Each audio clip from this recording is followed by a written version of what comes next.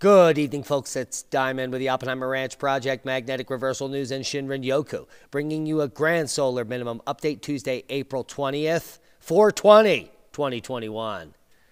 Take a look at the models and take a look at Santorini shaken by earthquakes. But the big story old man winter to bring unusual late season snow and record cold this week, like a tweak. Keep calm. It's boom time. April showers bring May flowers in Indiana. Snowfall amounts increase in the latest upstate New York forecast. Winter weather alerts issued, and it increases across the country. Joe's weather blog, a record snow for April in Indiana and for the late spring, too. Who knew? Record breaking. We're talking back to 1886.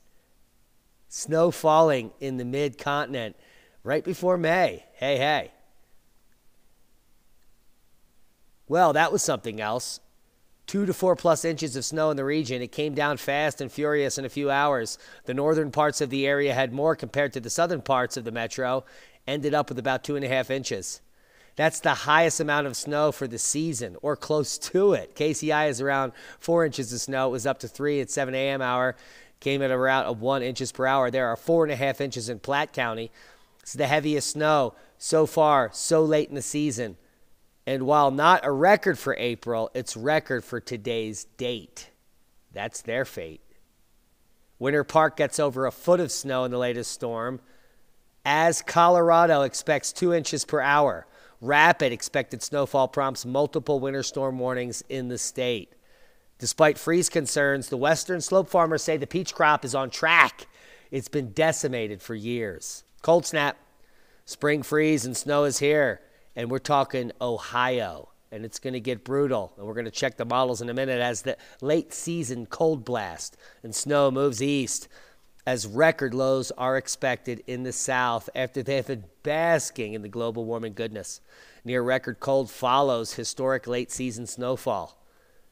And well, people are bumming everywhere because it was feeling like spring and now the summer of bummer. Here are the snowfall amounts from the last 48 hours, and you can see that system where it's moving. It's pointing an arrow to the east. Already snow on the ground in Indiana and Illinois, and they are Illinois, I'm sure. Below normal temperatures continue. A strong cold front will sweep through the east on Wednesday with heavy wet snow from the eastern Great Lakes into northern New England and strong thunderstorms with damaging winds in the mid Atlantic and Northeast like a beast. Take a look at the map. It's looking like crap. The big story, though, will continue to be the well below average temperatures. I'm getting washed out here. Let me fix the light. how, how the heck are you? The big story will continue to be the well below average temperatures behind the storm system or east of the Rockies. It's going to push its way through as numerous record cold temperatures are likely to be exploded. Wait till you see the numbers and take a look at the map. Purple, blue, and purple like a schmurple. Yes, that is freeze warnings, hard freeze warnings. We're not talking frost or frippy flaps.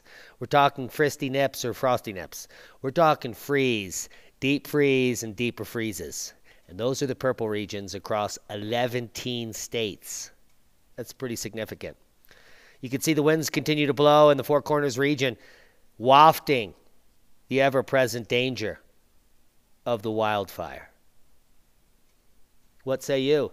It's looking pretty nippy in Texas, the nexus of the Schmexis and other regions, because it's a hard freeze on. Click on your county to get more information and to get up to speed. Let's check the models. They're looking snowy and quite blowy. We'll move them through here. Here's your Tuesday through Wednesday. There's your lose day. Ohio, in the bullseye here, picking up, well, it's looking eight inches in some regions. Two little swaths of eight inches moving across there, as well as the lake effect happening Wednesday night into Thursday. So we're talking heavy snow in upstate New York, upstate uh, Vermont, New Hampshire. Maybe the ski season isn't over, over there, but there's certainly going to be some sledding and shoveling. And then take a look at the west. It's the best. Snow's going to begin to build up in Canada there in the western region, Saskatchewan and Ontario, uh, No, that's not where it is. It's Saskatchewan and Alberta. My bad. But take a look at how the Rocky Mountain front is going to fare here through Saturday and into the weekend. A little pulse of snow, a second pulse going down uh, during the week here into Monday into the Sierras. That's pretty nice. And just take a look at how the models fill in through the end of May. Hey, hey. Three events in the West. One, two, three. One, two, three. And we're going to take them one at a time. The first one that's going to bring some significant moisture here is Thursday and Friday. Maybe we'll get a little uh, flakes here. And Thursday, Friday through Saturday and Sunday is going to bring snow all the way down that west coast front from the Cascades all the way down the Sierras. Much needed moisture. So that's good news. And what's also good news is that that pattern continues to bring more and more moisture up to three feet in some regions of uh, well needed areas here in the Four Corners region. And I'm sure there'll be some drizzle and rain because it's only snowing in the high country. I didn't have time to check that model, but I'll share it with you when I do. April snow hits Hungary as I'm getting hungry. As Switzerland registers the coldest spell in three slash decades, European fruit shortages are expected. Have you heard? Well, now you have. April snow hits Hungary, and there's a bike buried in the global warming goodness. Switzerland registers its coldest spell in three decades.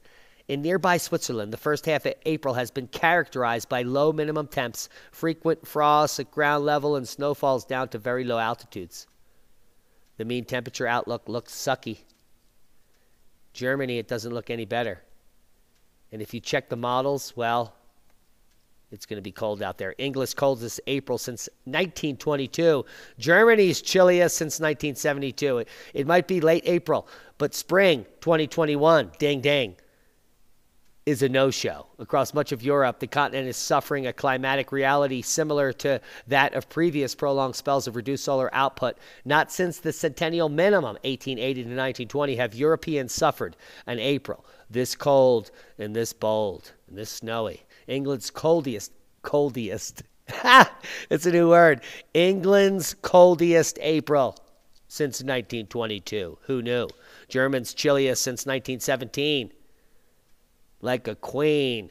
With a mean temperature of just 4.5 C, Germany is faring even worse than England. It is on for second coldest April since records began in 1881, which is quite a few years.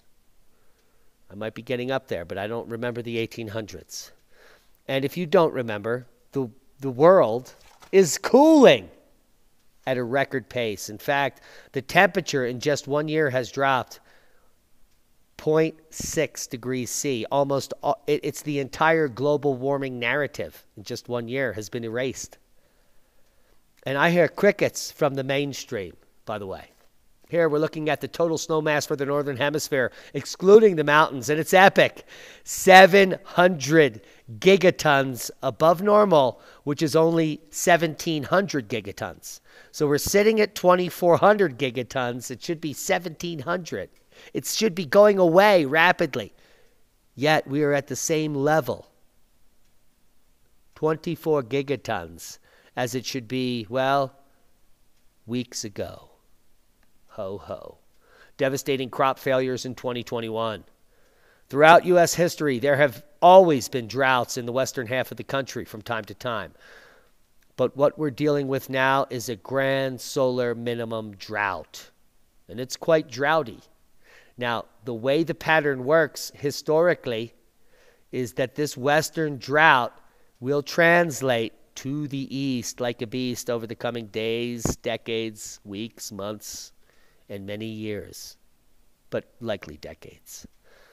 So, potentially by the bottom of the grand solar minimum, 2040 ish or earlier, we could see this entire drought shift to the east of the U.S. and other droughts popping up, mega droughts worldwide. And these will happen in the current crop growing zones. Like bones, the dirt will be. As farmers warn that mega droughts in the western U.S. threaten to cause devastating crop failures in 2021. What fun. Santorini shaken by earthquakes. How are you shaken up? Let's check the seismic map. Seismic update. No quakes of note. Well, I digress. And 2.52 kilometers east southeast of Eureka, Missouri, where it is going to be miserable if the New Madrid does fault. And here's that big boomer out here in Greece we're about to talk about with the clout shout, oh, so I turned the party out. m4 6, 4.6, 29 kilometers south of Mandraki, Greece. And that is not how you say it. Volcanic pollution, however, is a threat to public health, just like global warming and climate change. Have you heard? Has nothing to do with industry. or the 80% of all the pollution on the planet is from ag, uh, multinational corporations. Hello! Worldwide Volcano News Update. Popo, Semeru, Ibu, Dukono, Reventador, Sangay, Lewotolo, Sabancaya. Hey, good news. Iceland's not on there. St. Vincent's not on there. Holy macaroni. Santorini, Greece, we're doomed. Moderate earthquake near undersea volcano beside Santorini. Should we worry? Yes, we should be very worried. This morning, a magnitude 4 earthquake occurred 10 kilometers northeast of Santorini. The quake hit at 11:21 a.m. local time. It was felt by many people in Santorini, especially in the northern part of the island on the town of what?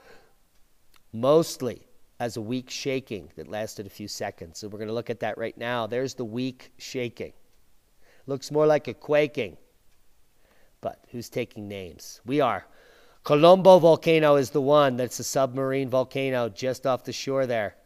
And the current status is one out of five, which means they need to take that up to two, probably hit three by morning. That's how backed up they are. Kolumbo or Columbus volcano is an active submarine volcano located 8 kilometers northeast of Santorini Island in the Aegean Sea. The volcano forms an elliptical, southwest northeast elongated 3 kilometer wide cone with a 500 meter deep and a 1.5 kilometer wide crater. Like a tater. of a schmater and a tot. The rim's highest part rises 18 to 15 meters beneath sea level. It's, so it's right there. It, it used to actually be an island when this baby popped, and now it's eroded just below the surface, and no one knows it's there since 1600. So for hundreds of years, it's now a mystery. But back in the 1600s, everyone knew of the island there, and they probably vacationed there. But soon it will go boom. Now, what do we have to look forward to? Well, let's talk about it. We might as well get into that. The 1650 eruption of Kolumbo volcano is the in, entirety of all the historical documentation we know, and well, let's delve into it because the mainstream certainly is not going to tell you. The large hydrothermal field on the northern part of the caldera at about 500 meters depth contains a massive Kuroko style sulfide deposit. This is fantastic. If you could, were able to dive down there well, only such a few deposits are known worldwide, and they are of great interest, especially because they are typically high content of gold and silver in the sulfides. Absolutely a gold mine. In 2010, the exploration vessel EV Nautilus discovered steep, up to six meter high chimneys of sulfides above the vents of the Kolumbo volcano. Now, the 1650 eruption of Kolumbo was a very explosive event and ejected pumice and ash as far as Turkey, which is a different continent, and produced pyroclastic flows that killed 70 people on Santorini. And during the eruption, it constructed a temporary island, which I just spoke of, hence the name Kolumbo in Greece, meaning swimming, where they went to swim. A tsunami occurred as well, probably during the collapse of the subsurface cone and it caused damage to nearby islands up to 150 kilometers and invaded the flat coastal areas, especially on the eastern side of Santorini, where ruins from Roman times were uncovered, buried. The eruption also has caused damage and killed a great number of livestock because of poisonous gases, specifically H2S, hydrogen sulfide. That's fart gas, I think.